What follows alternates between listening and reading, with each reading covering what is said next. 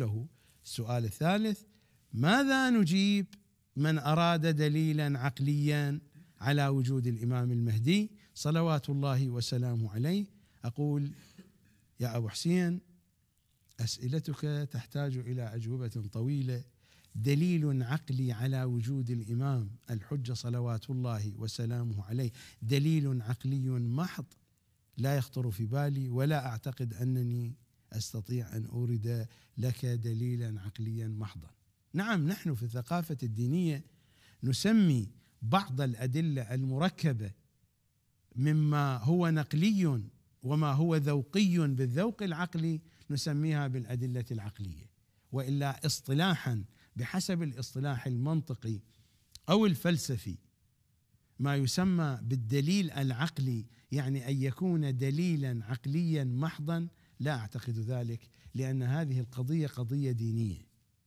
ولكن يوجد هناك لون من الأدلة في ثقافتنا الدينية. نحن نسميها بالأدلة العقلية ولكن في الحقيقة حين نحللها فهي أدلة جماع بين ما هو نقلي وما هو من الذوق العقلي ما يقبله العقل.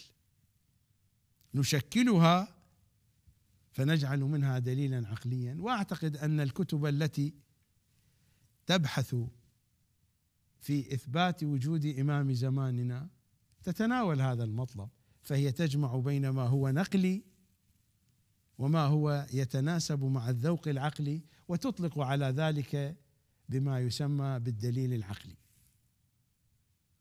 لكنني أقول هناك ما أسميه أنا بالمقاربة العقلية. وهذا ما يمكن أن تستنتجه من خلال حلقة يوم الخميس كان هناك سؤال وطلب من أخينا العزيز الحاج علي طمه الكربلائي أن أتحدث عن الولاية التكوينية وسيكون حديثي إن شاء الله في يوم الخميس. ستكون الحلقة مخصصة للولاية التكوينية. إذا كان هناك متسع من الوقت يمكن أن نتناول أسئلة أخرى. ولكن يوم الخميس سيكون الحديث في هذا الموضوع تحت هذا العنوان الولاية التكوينية.